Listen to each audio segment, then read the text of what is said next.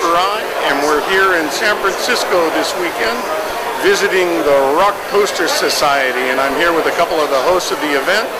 We're here with the lovely Pam and Pete Neumiller, and we're going to ask them a few questions about how they got involved with the event and who their favorite artists are. So, how long have you been involved with the, the Rock Poster Society?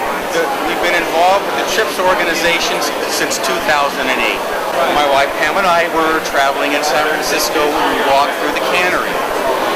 And there was lots of booths set up and I saw the first piece of art that sold me was the original artwork Lee Conklin did for Oh, Lee's right over here today. Yeah, yeah, he did the original artwork for the Santana album, and I saw the original artwork sitting on a on a canvas. It was an oil.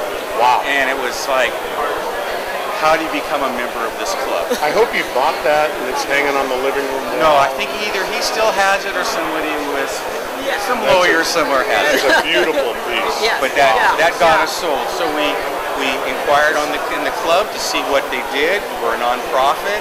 Uh, we do good work for the poster artists, and plus we collect. So I've never sold it. We've never sold anything we bought. No. But we have portfolios full of stuff. Wow. We, we get to be known. Poster artists recognize us because we're at every trip show. She cooks. I do booth. We set up. We're all, like I said, all volunteer. So we work our tails off. And the poster artists begin to recognize who the players are, Yeah, yeah. who make trips work. Excellent. He had an original collection that his sister usually got for him because he was in trouble. I was always in trouble. So when I was at, how I got my original collection was I was always stuck in my bedroom because I did something wrong that pissed off my parents.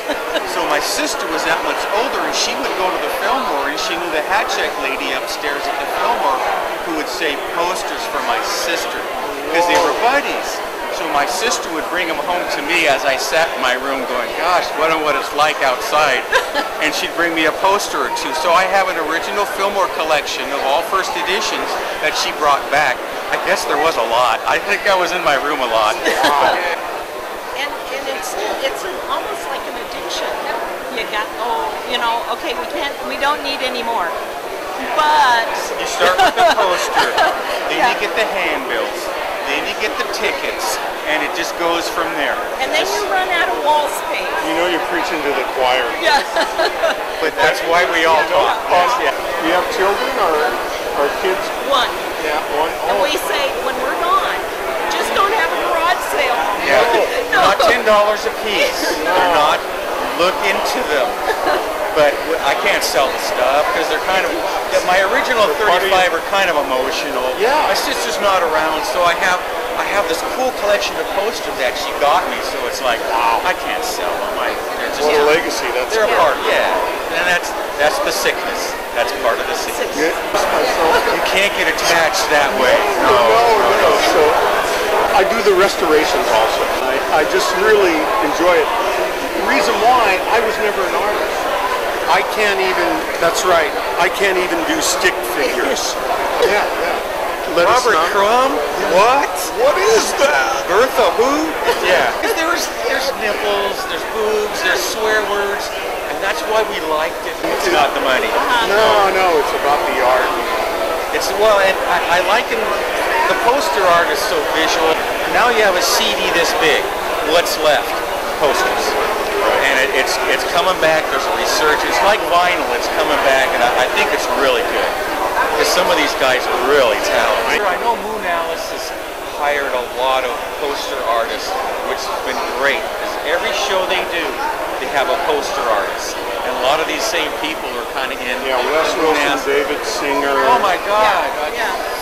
Uh, Half the Gary people in this room are part of Moonalice. Yeah. So, so how many events have you done for TRPS? What is this? We do since- two, usually two a year since 2008. Wow.